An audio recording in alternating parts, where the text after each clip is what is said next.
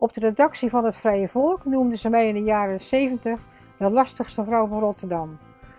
Vroeger lag ik daar wakker van, maar nu ben ik trots op dat predicaat, want voor mij betekent het dat ik ben wie ik ben.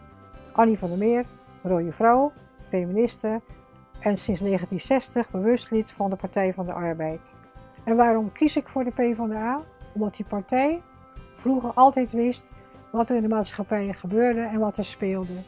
En dat is iets wat we niet mogen vergeten. En daarom is de Partij van de Arbeid mijn partij.